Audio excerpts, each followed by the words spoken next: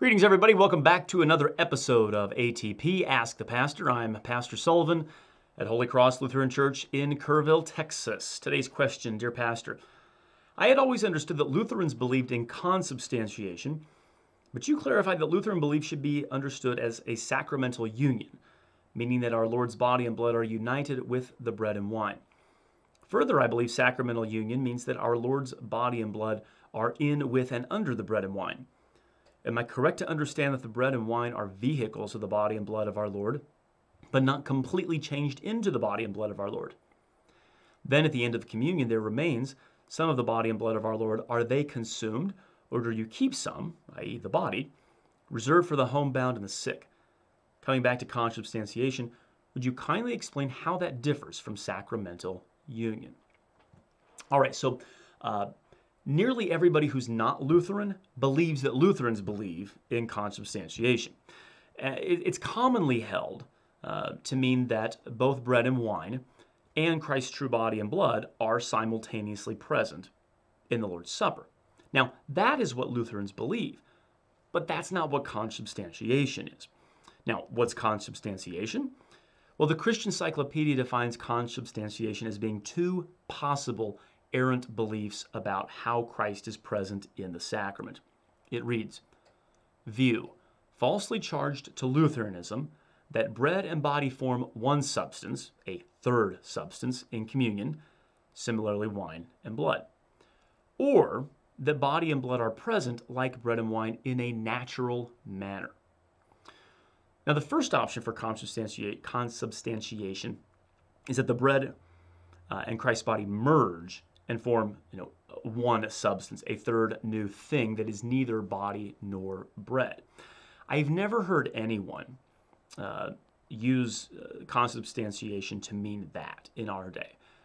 The second option is the one that Lutherans are continually accused of, generally by the Reformed, namely that Christ's uh, true body and blood are present in, with, and under the bread and wine in a natural manner. Now, those words in a natural manner are the key to understanding why Lutherans outright reject consubstantiation. By natural manner, it means that Christ is present in a local or spatial way. Uh, to better understand this, uh, we need to review Christ's three modes of presence. Uh, so, the first mode of presence, or the way that Christ can be present, uh, is called the comprehensible, or the bodily mode. Um, this was the way of being present that Christ used when he walked the earth during the days of his humiliation. Uh, his body vacated and occupied space.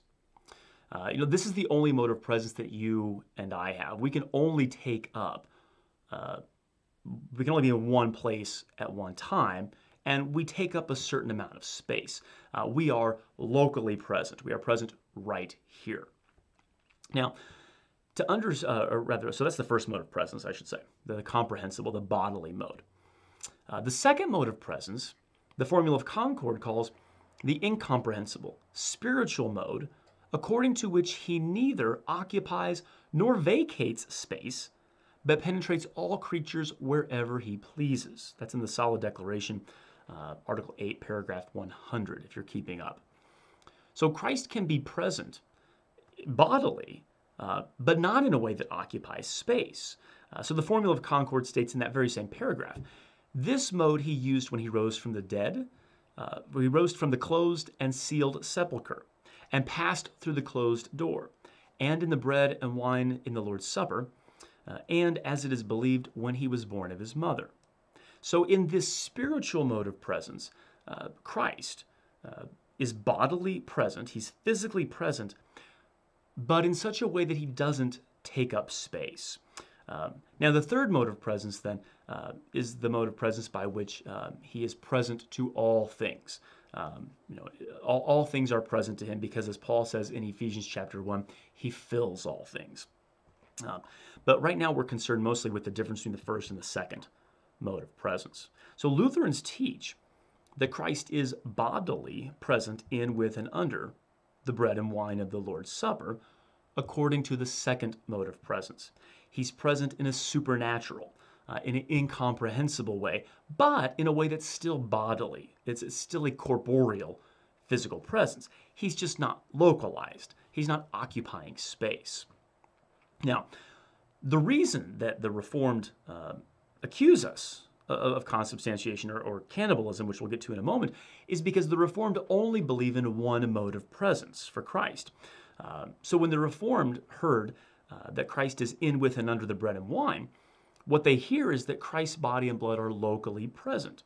So it must therefore be enclosed uh, within the bread and wine, which we call impanation, or that Christ's body and blood are present in a natural way, uh, just as if my body and blood or your body and blood were present with bread, uh, so that it would be mixed together uh, or so that it could be seen under a microscope.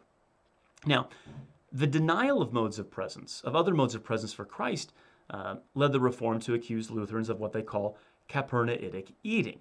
Um, in John 6:52, when Jesus tells everyone, uh, he's speaking of his word, but he says, you know, unless you eat my body and you know, drink my flesh, you have no life in you. They say in John 6:52, uh, this is up in Capernaum, uh, which is why it's called Capernaitic eating. The unbelieving Jews ask, how can this man give us his flesh to eat? So the Reformed, because they believe in only one mode of presence, they hear that we receive Christ's body and blood orally, and they accuse us of cannibalism. If Christ only had one mode of presence, then yeah, that would be the case. But he has more than one mode of presence. Christ can be present however he wants to be. You know, Christ is fully God. Uh, his divine and human natures are inseparable. Uh, and his human nature has been glorified uh, and receives all the majesty and power of the divine nature. And so this means that uh, he can be present in the elements in a non local way. Now, this kind of local inclusion has always, always, always been rejected by Lutherans, even during the days of the Reformation itself. Uh, it was even rejected by Luther himself. Luther signed a document called the Wittenberg Concord in 1536, which expressly rejected any kind of local inclusion of Christ's body in the sacrament. And since then, Lutherans have adamantly rejected the term consubstantiation because it confuses the modes of presence and opens us up to the accusation of being cannibals. So, how is this different from what Lutherans believe, teach, and confess about Christ's presence? Well, Lutherans believe in what's called, like you said, the sacramental union. Uh, Christ's very body, born of the Virgin Mary, crucified, suffered, buried, resurrected, and ascended, and seated at the right hand of God, is essentially or substantially present in the supper, though in a way that's invisible and incomprehensible to the human senses. That's what we mean when we say sacramental union. It's not a natural union, nor is it a mixture of the two into one, nor is it that both things are taking up space uh, in the bread and wine so that Christ's body and blood can be empirically verified, like under a microscope. We receive the bread and wine in a natural way, that is, orally, and we receive Christ's true body and blood orally as well, but again in an incomprehensible and invisible way.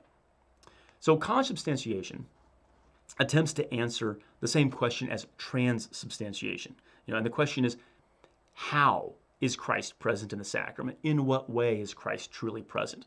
So transubstantiation goes too far by viewing the sacrament through the lens of Aristotle and his categories. Uh, consubstantiation either mingles or confuses the earthly and the heavenly elements into one, or it assumes that Christ is present in the supper just as he was present in the boat with the disciples on the Sea of Galilee.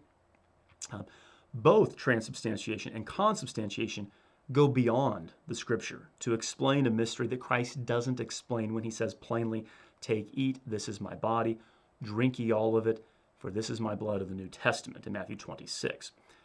Lutherans simply take Christ at his word.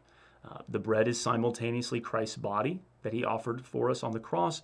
The wine is simultaneously his blood, which he shed for us upon the cross to atone for our sins. Uh, and he gives that body and blood to us in a sacramental, incomprehensible way. Uh, and he does the same then with his body and blood simply by the power of his word.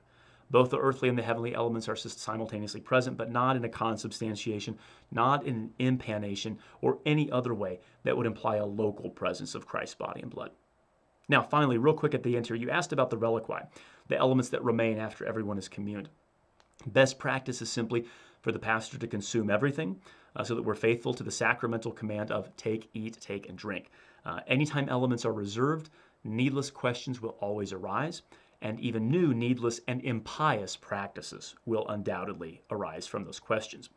So, uh, in the case of shut ins or hospital calls, elements can always be consecrated in the member's home uh, or in the hospital at the bedside, uh, because when the pastor is with such members of his flock, that is simply a manifestation of the parish in that place. Uh, there is simply no need whatsoever to reserve elements, and like we said, it only leads to uh, unnecessary questions and then bad practices. Thanks for the question. We'll see you next time on ATP.